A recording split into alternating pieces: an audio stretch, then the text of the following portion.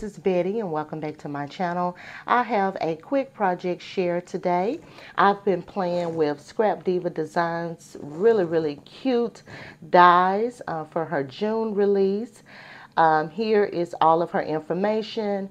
I'm sure a lot of you already know who Scrap Diva um, is.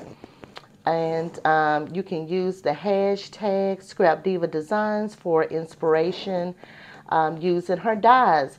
So her um, recent uh, release was so cute. I've been seeing all of the cute projects that everybody has been creating and I wanted to play with this cute little toaster die as well as the toast and it comes with egg and a fork. I didn't use um, the egg or the fork this time and I kept these together in case I wanted to do a shaker but I used the cute little toast to go in the toaster. And the card I'm going to share with you today, the mechanism for the card was completely inspired by Jen Cassell.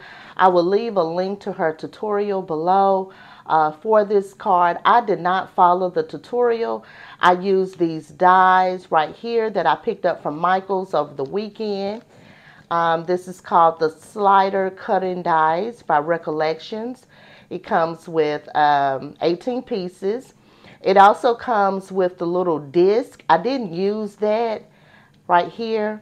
I didn't use that. Um, I just used the circle that came uh, with this die set. So if you're interested in this slider die, you can pick this up from Michael's.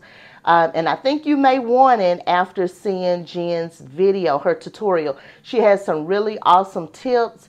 And I just love the card she created um, using that toaster die. I also pulled out this strawberry die really really cute. This sweet die by um, Kat Scrappiness. I pulled out the stitch tab die by uh, my creative time.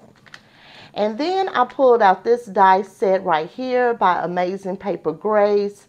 Um, this is a stamp and die set.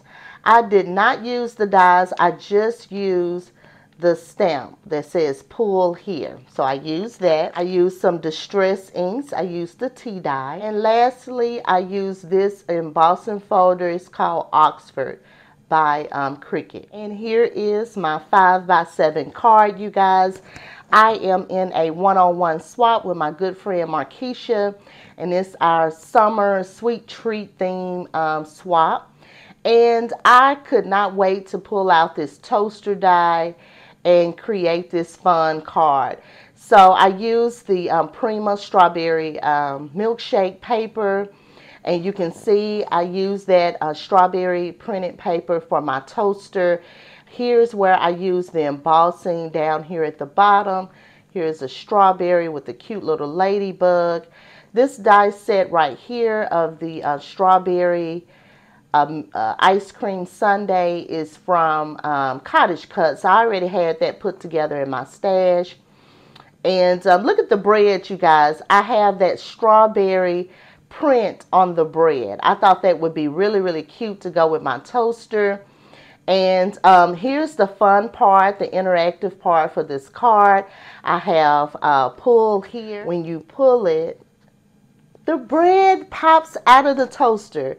Is that not the cutest thing ever? I just had to create that fun card. I thought that was just too cute. I got to do it one more time. Look at that, you guys. Isn't that fun? Oh my goodness. When I saw this card, I was like, okay, I got to do that card. That's just too cute. Here's the inside of the card right here. I hadn't put my message inside yet. And here's the back. You can see the sweet here. I put some enamel dots here. And then I love the paint splatter. I just love the uh, look of the paint splatter. It just gives it uh, that whimsical vibe. And I just really, really love that. This is my card share for you today. Um, if you like what I created, don't forget to hit that like button. And also, if you would like to join my YouTube family, all you have to do is just hit subscribe and hit the bell to be notified when I upload a new video. I'm also on Instagram, Scrap Passion 01. You can check me out over there. And until next time, make sure you always create with love and passion. Bye.